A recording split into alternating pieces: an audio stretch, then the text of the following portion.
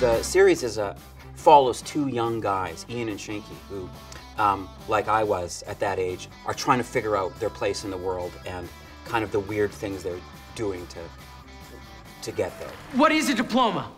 Paper fades. Music is forever.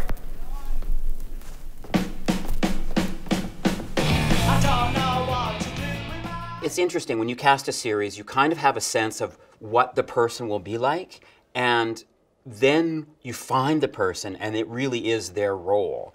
And they'll ask you how you, they should do it, and I'll go, no, no, how do you want to do it? I play Ian McKay, and he's the son of Lloyd McKay. And uh, he's really got a lot of fire, but not a lot of focus. He's great at uh, getting himself into trouble and trying to talk himself out of it. He walked in, it was just like, oh, no, we have to get this guy on a plane to Toronto tomorrow uh, to show him, you know, to the executives and my other people, because he just felt like uh, he was the guy. You know, he had the thing I always look for in every role, but certainly in these in, in, in this role of he's funny and he's cute and all that stuff, but he had real soul. So when I first met him, I just I thought, wow, this this this is going to be our guy.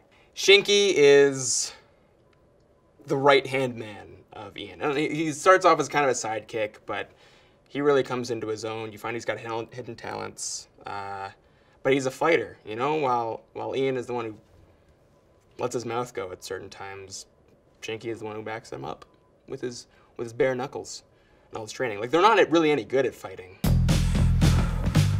Oh. Oh. Yeah, that, hey, you're doing great, man. Just hang in there. A few more minutes. A few more minutes? Oh, that's it. That's it. Okay, you're wearing him out. You can hit him back a bit more, though. I'm trying.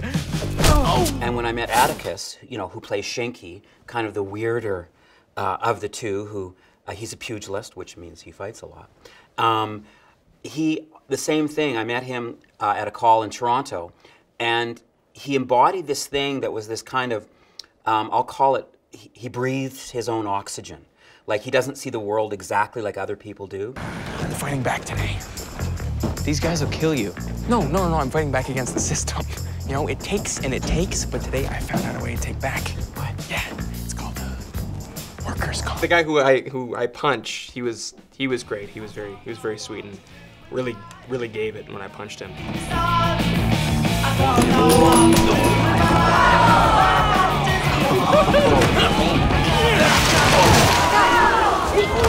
No, no, boys. Yeah, I mean, they just said, you know, there's the banner. We have one shot at this. We don't have another banner. Just fall back, see what you do. And so I did it.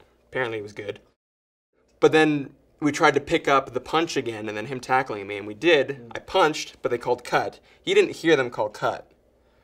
So I just turn away for a second, and he just tackles me straight on, head on, as he's supposed to, but just didn't know that they called cut, and sent me into the wings on the stage.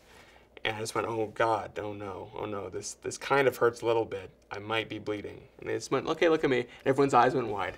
And I came out, and the whole auditorium is filled with extras. And so they all see me in my bloody glory. It's going, yeah, baby. It's not all bells and whistles. We get hurt.